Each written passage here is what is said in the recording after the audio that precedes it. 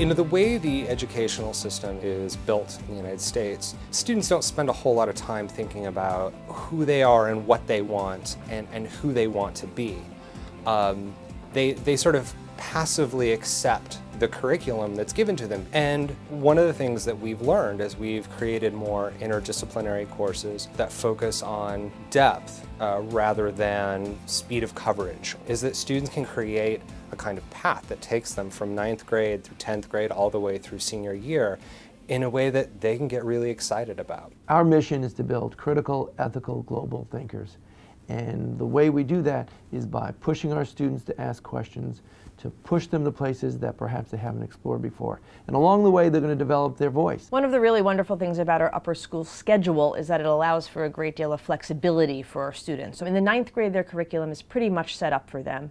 Um, they have a common English class and a common history class, and they all take biology. They get to choose their language class, um, and they get to choose their arts classes. Their choice really expands by 10th grade. They're able to choose all of their English and history classes with topics ranging from Shakespeare to satire to India to the history of Latin America. Being in India was probably one of the best experiences of my life. I saw all this amazing architecture and then also people living like I had never seen people living before, and that sort of inspired my interest in maybe pursuing sustainable housing. India was sort of that first step into pushing me to do architecture.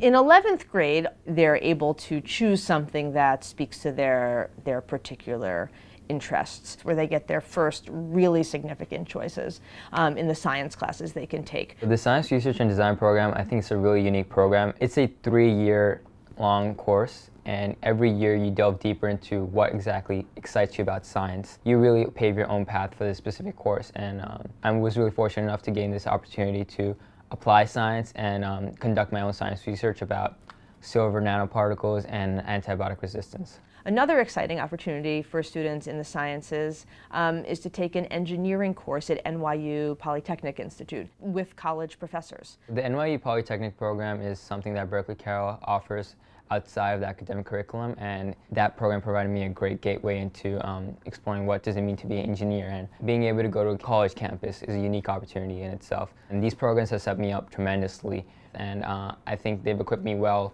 to study them in college. Once we get to senior year, they're basically choosing everything. Students can double up in their sciences. Students can also double or triple up even at times in arts. There's a great deal of variety in what a senior, a senior year schedule will look like depending on the student and depending on that student's interests. I'm in two language courses and an English course, right? So what I find so appealing about it, it's not Spanish or French or Latin, what you'll find anywhere. I get to learn Arabic, an actual practical and not as common to learn language in the Western world. And so that's been nice that even though I can triple up in sciences, it doesn't stop me from doubling up in language or doing an independent study like I'm doing second semester in English where I'm working one-on-one -on -one with a teacher and something. And we see ourselves as an intellectual community. If you visit our classes, you'll see many of them are seminar style. The teacher will ask questions.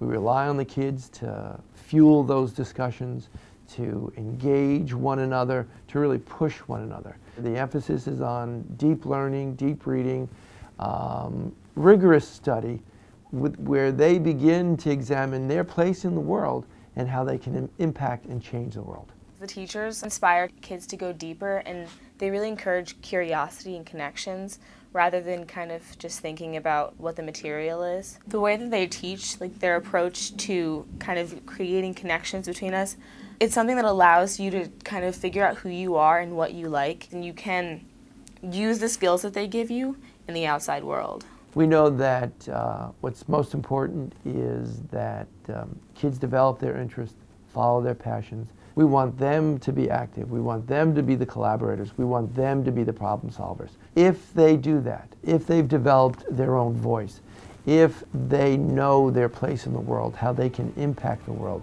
then they're going to be well situated for success in college and beyond, and they're going to find and experience that they're effective and successful.